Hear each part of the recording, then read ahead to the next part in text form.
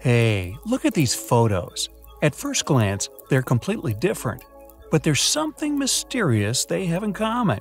Just one small detail that has been puzzling historians worldwide for years. It all started in the Russian Empire over 100 years ago. Photography was already a thing back then, so there was nothing special in someone taking pictures of various historical buildings.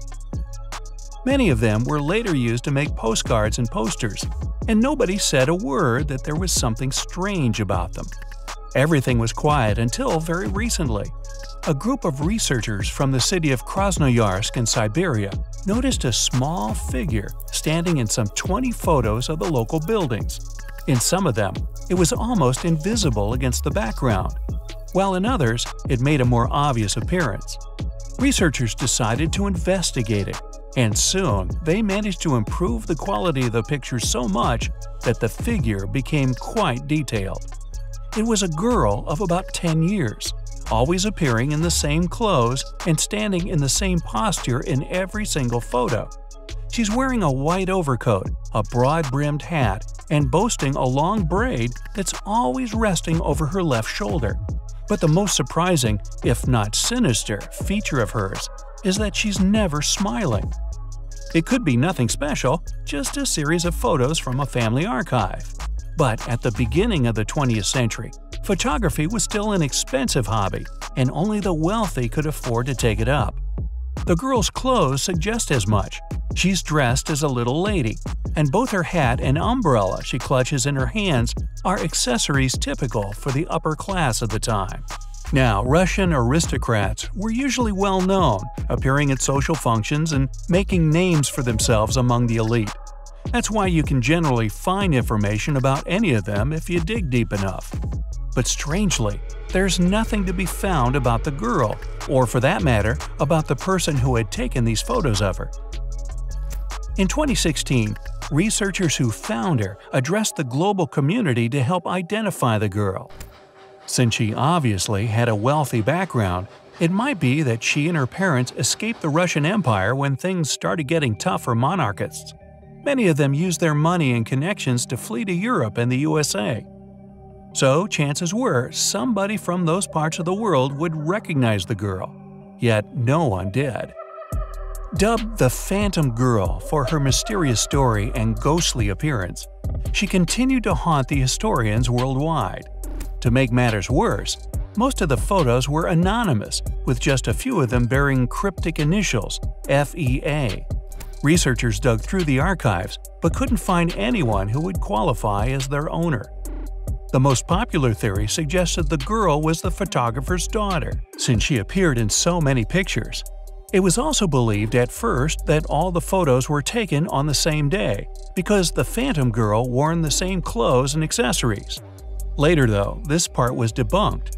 If you look closer, you'll see she wears different stockings and shoes on many shots. So, this means she couldn't have been photographed in a single day. But if it was their daughter the enigmatic photographer captured, why did they make her look so insignificant? Nobody noticed the girl before the high quality pictures were developed because she was extremely small against the grand backgrounds. The photographer obviously tried to capture the buildings, not their daughter.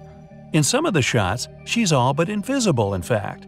Not a few show her closer to the center, but even then, she's clearly not the focus of attention.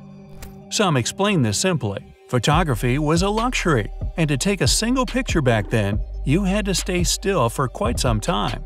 So instead of taking various close-up shots of their daughter, like many of us would do today, the photographer decided to capture the surroundings to the biggest extent possible. Many questions were raised as to the girl's facial expression and posture, too. She's always glaring at the camera with a gloomy face, and her position is always the same back straight, head slightly bent forward, hands holding the umbrella propped on the ground.